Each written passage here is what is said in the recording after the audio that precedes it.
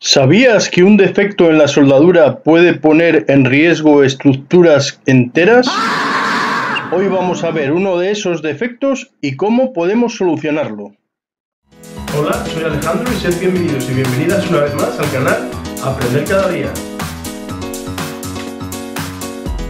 El otro día estuve respondiendo a vuestros comentarios y un suscriptor me comentó que para cuándo un vídeo sobre cómo evitar las mordeduras. Y de eso va a tratar nuestro vídeo de hoy. Como podéis comprobar, tengo en cuenta vuestros comentarios, aunque a veces no puedo hacerlo con la rapidez que os gustaría, pero os invito a comentar al final del vídeo, porque además de que yo u otro suscriptor os pueda resolver las dudas, también podéis dejar mensajes de apoyo, ya que me animan a seguir creando contenido.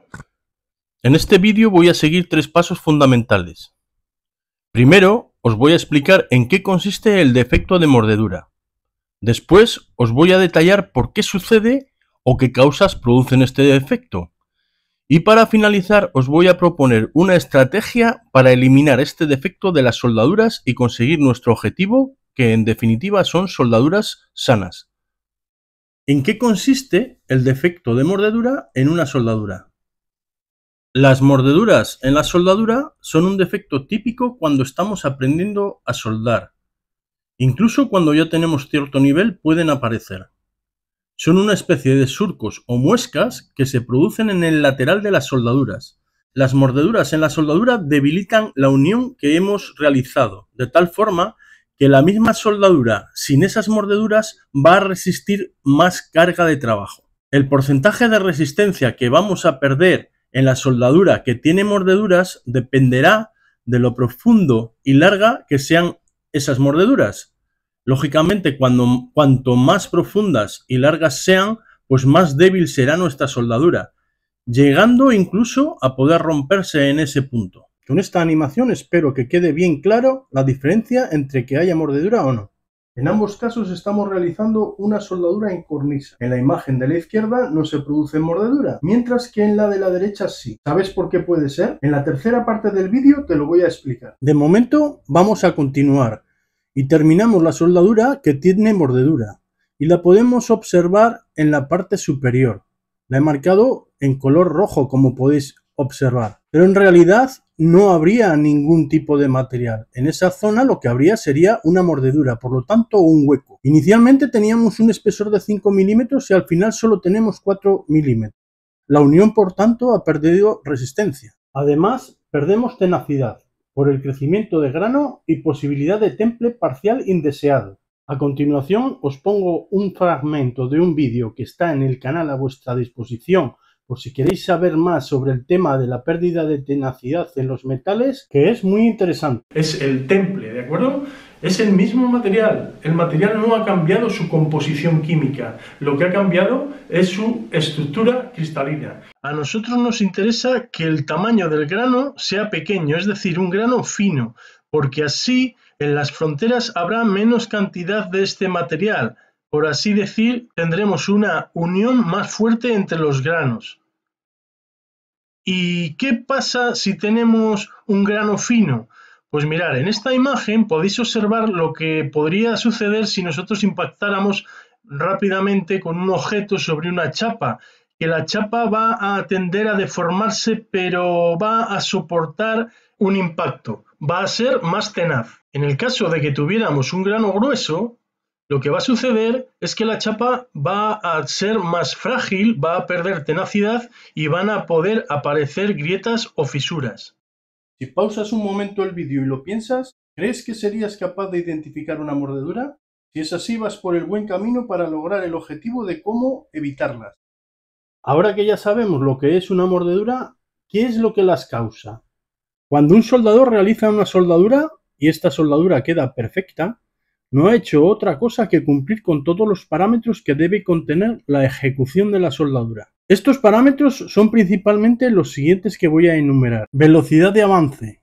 Estamos llevando probablemente una velocidad de avance excesiva. Longitud del arco demasiado grande. Probablemente tenemos el electrodo demasiado separado. Amperaje elevado en el proceso con electrodo revestido y en el proceso TIG y voltaje elevado en el proceso de semiautomática, lo que es MIG-MAG. Otra causa muy común es la mala inclinación tanto del electrodo, antorcha de TIG o pistola de semiautomática. Un parámetro muy importante que debemos tener en cuenta es el diámetro del hilo que vamos a utilizar si es en soldadura semiautomática o el diámetro del electrodo en soldadura con electrodo o el diámetro de la varilla en la soldadura TIG.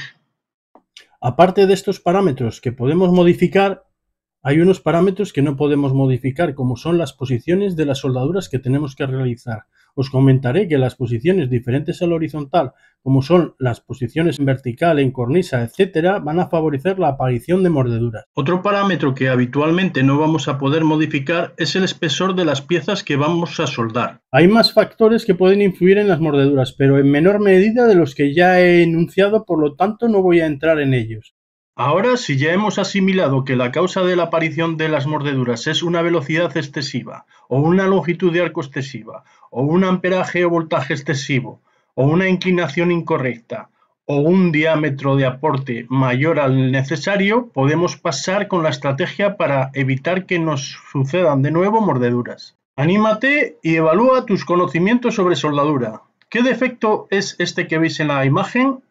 Deja tu comentario. Pues vamos con la tercera parte del vídeo, la estrategia para evitar las mordeduras. En primer lugar vamos a tener en cuenta que las causas de nuestras mordeduras puede que no sea solamente una de las que hemos visto y sean una combinación de varias. Por ejemplo, que llevemos una longitud del arco excesiva y un amperaje y voltaje excesivo. Pues en nuestra estrategia para eliminar las mordeduras, aunque tengamos dos parámetros incorrectos, al principio solo nos vamos a centrar en uno de ellos. Por ejemplo, en este caso que he puesto como ejemplo, nos vamos a centrar simplemente en la longitud del arco, conseguir llevar una longitud de arco adecuada. Os recuerdo que la longitud del arco con el electrodo revestido debe ser la separación equivalente al diámetro del electrodo que estemos usando, por ejemplo. Cuando ya hayamos corregido este problema de la longitud del arco después de realizar varias soldaduras, ahora es el momento de corregir el amperaje, el voltaje, velocidad de hilo, etc. Independientemente de los parámetros que estemos realizando de forma incorrecta, los vamos a corregir individualmente y hasta que no tengamos corregido el primero, no pasaremos a corregir el siguiente y así sucesivamente.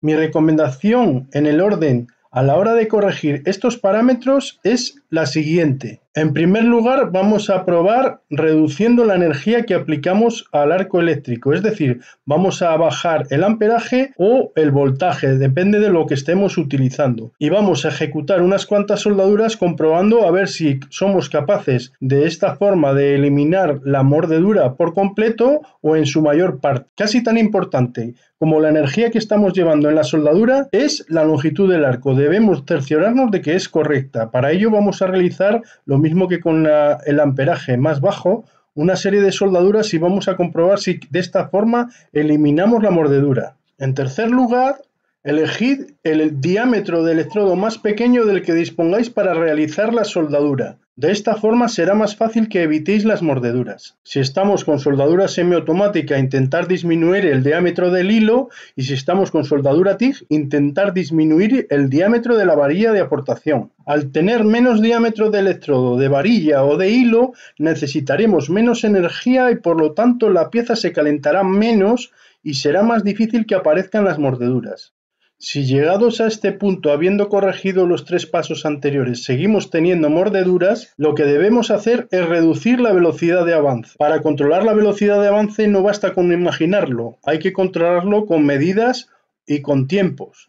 Por ejemplo, si en la ejecución de una soldadura con un electrodo he avanzado 25 centímetros, con la siguiente ejecución debo avanzar, por ejemplo, 23 centímetros solamente. Es probable que si hemos corregido los puntos anteriormente vistos, las mordeduras sean difíciles que aparezcan, pero sí que es posible, por ejemplo, en la soldadura vertical ascendente, que en ocasiones aparezcan mordeduras en los laterales, en la parte superior del electrodo que estamos gastando, porque a veces es costumbre de la gente que está iniciándose que se cansa y cambia la inclinación del electrodo y por esta inclinación incorrecta produce mordeduras en la parte final del electrodo. Mientras que en la de la derecha sí. ¿Sabes por qué puede ser? En la tercera parte del vídeo te lo voy a explicar. Vamos con la solución. Si nos fijamos en los dos vídeos, los dos llevan la misma velocidad, llevan la misma longitud de arco, llevan la misma inclinación y llevan el mismo electrodo. Por lo tanto, solo puede haber una diferencia de amperaje en la ejecución de esa soldadura. Os recuerdo que valoro vuestros comentarios y que me ayudan a seguir creando contenido. Un saludo, nos vemos en el siguiente vídeo.